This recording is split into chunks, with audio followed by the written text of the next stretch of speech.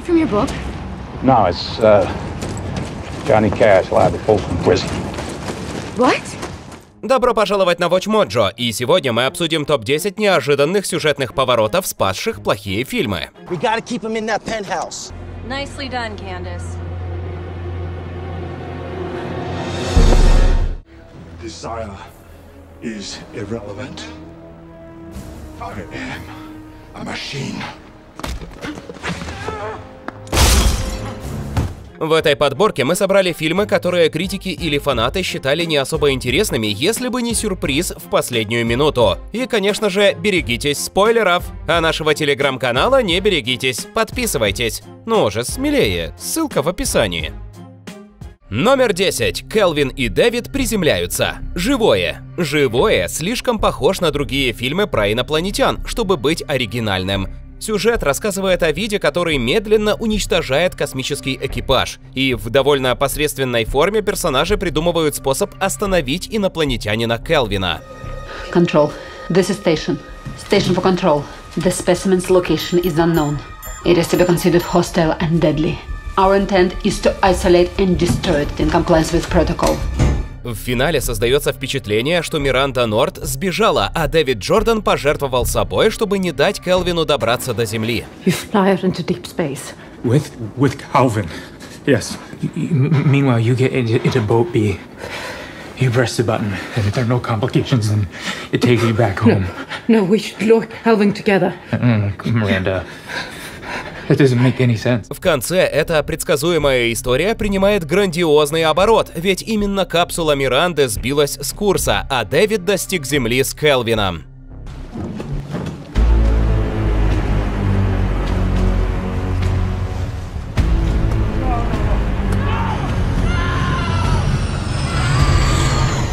Это меняет фильм на 180 градусов и оставляет нас с леденящим душу осознанием, что человечество может быть обречено. Номер 9. Отец Джейми не настоящий. Мертвая тишина. Джейми Эшен пытается придумать, как избавить семью от проклятия, а призрак чревовещателя Мэри Шоу хочет положить конец его родословной.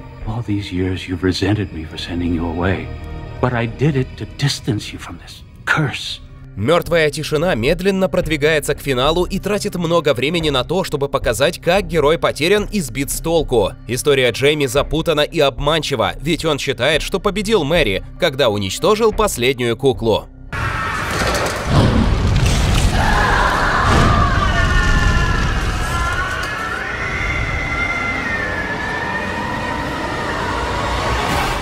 Но в последние моменты он осознает, что сбился с пути. Его отец оказался куклой, которой управляет его жена, одержимая Мэри. Джейми некуда бежать, и он в ужасе узнает, что это все было спланировано от начала до конца.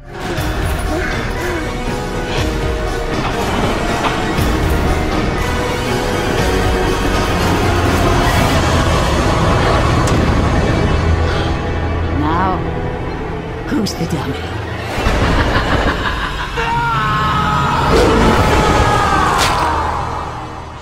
Пускай злодейка побеждает, ее стиль заслуживает похвалы. Номер 8. Настоящая реальность Реми. Потрошители. Сюжет фильма расскажет о потрошителях из будущего, которые возвращают биомеханические органы. My job is simple. Can't pay for your car, the bank takes it back. Can't pay for your house, the bank takes it back. Can't pay for your liver. Well, that's where I come in. Попытки главного героя Реми спастись от похитителей сердца скатываются в предсказуемую погоню. История достигает клишированного хэппи-энда, но глюк возвращает все к реальности.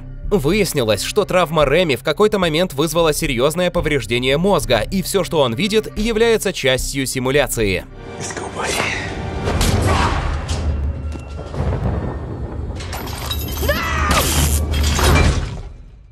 Реми и его пассия еле живы, и хэппи-энд существует только в голове. Это разбивает обычные стереотипы боевиков в пользу мрачного и реалистичного финала. Он неоднозначный и заставляет задуматься. Sweet dreams, buddy. Номер 7. Азазель вселился в кота. Падший. В этом мистическом хорроре детектив Хопс и Джонси выслеживают демона Азазеля, который вселяется в людей и надеется вызвать глобальную катастрофу. The demons? They want the fall of civilization, the fall of Babylon, as they put it. Но все быстро сдувается, ведь переселения Азазелю надоедают, а больше ничего не происходит. Падший кажется слишком запутанным для фильма ужасов, но это дает место для гениально простого твиста, который никто не ожидал. Хопс отравляет себя в уединенной хижине перед вселением Азазеля, чтобы демон застрял навсегда. You don't smoke anymore.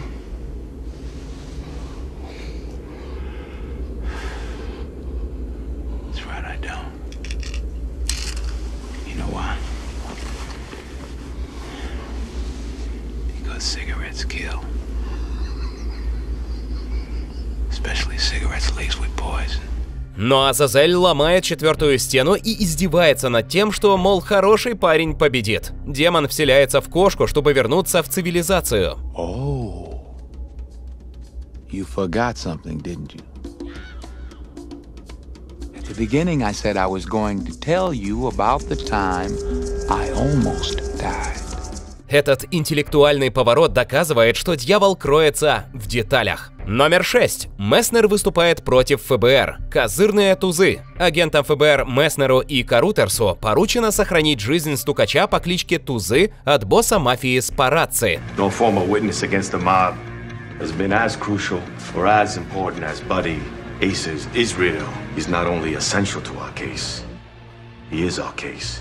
Засилье персонажей очень путает сюжет, который идет по кругу, но кульминация — это большой поворот. Выясняется, что ФБР работает с мафией, ведь Спарацци не только сам информатор, но и отец Эйса, которого ФБР передает в рамках своей сделки. The Bureau betrayed us. Wake up. You betrayed us, Deputy Stop Director Locke. You betrayed us the way you betrayed them. You asshole. Месснер разочарован тем, что коррумпированная деятельность ФБР привела к такому количеству смертей и отключил Эйса со Спаратца, что разрушает все планы.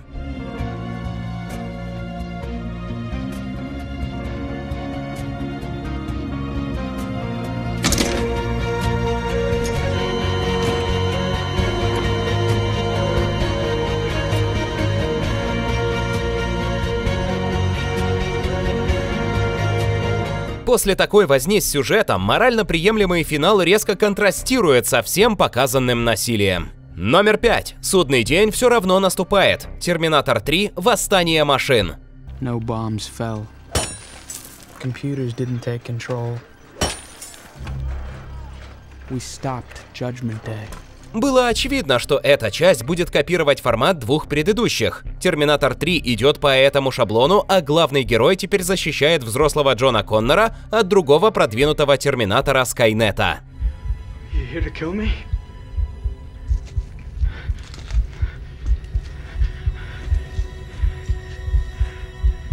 No.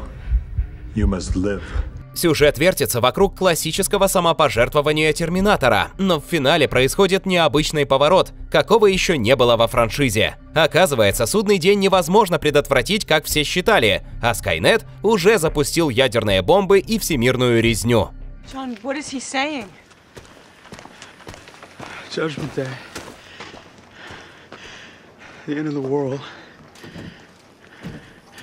It's today, three hours from now. Терминатор 3 вызывает у зрителя ложное чувство безопасности и оставляет фанатов в шоке, ведь угрозы мрачного будущего сбываются. Номер 4. Правда об Илае. Книга Илая. В этом фильме Илай пытается скрыть последнюю Библию от главаря бандитов, жаждущих хранящихся в ней знаний.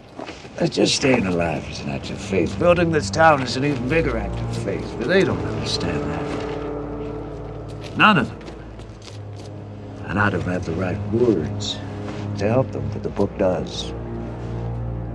Эта антиутопия похожа на популярного безумного Макса, но так сильно зависит от тайны главного героя, что за происходящим становится просто утомительно смотреть. Но в конце становится ясно, что Илай скрывал еще большую тайну. Библия написана шрифтом Брайля, а это значит, что он еще и был слепым. The first book of Moses, Genesis, chapter 1, verse 1. Не дав никаких очевидных подсказок, твист закидывает главного героя в более широкий контекст и завершается вдохновляющим посланием. Путешествие Илая было духовным, и это в раз меняет мрачную перспективу.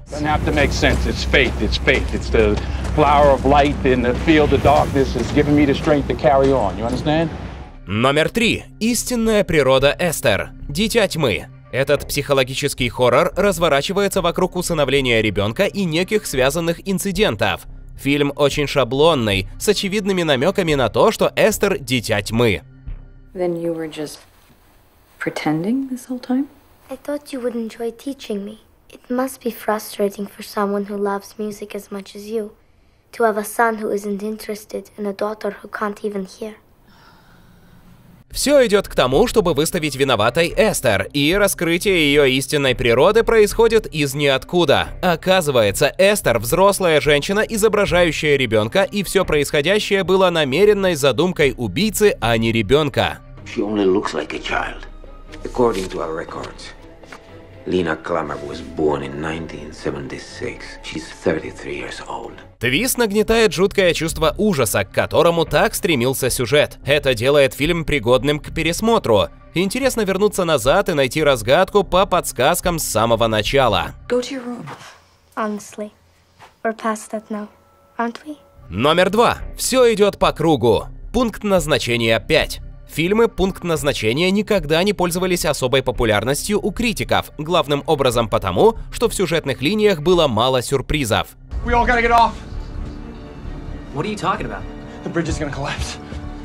What? The? We're all gonna die. What the hell is going on? We're all gonna die if we don't get off this bridge now. Пятая часть использует ту же схему. Безуспешные попытки очередной группы сбежать от смерти. И все заканчивается довольно предсказуемо. Выжившие планируют улететь на самолете и отпраздновать победу. Are you kidding me? You're gonna make me sit in the middle seat? Uh-huh. I'm like twice your size. Not really. All right.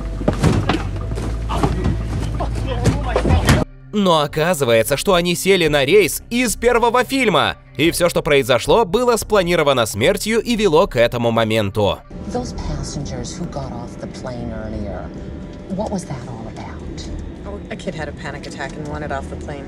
Said he had some kind of vision. No.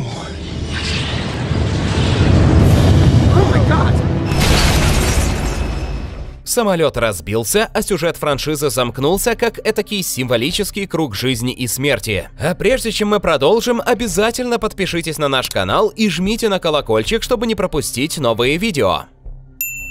Номер один. За всем стоял доктор Гордон. Пила 3D. Седьмой фильм потерял все фишки и вдумчивость предыдущих частей, но вот Пила 3D – настоящий кровавый фестиваль, который полностью полагается на ловушки. По сюжету фильма Марк Хоффман просто убивает всех на своем пути, а затем из мести убивает жену конструктора Джилл. Stopped. You know him, and he definitely knows you. Is that right? Но загадочный доктор Гордон нападает на Хоффмана и не дает ему сбежать. Выясняется, что все это время тот был тайным сообщником Пилы, а это означает, что он приложил руку ко всему, что происходило. Hello, Dr. Gordon.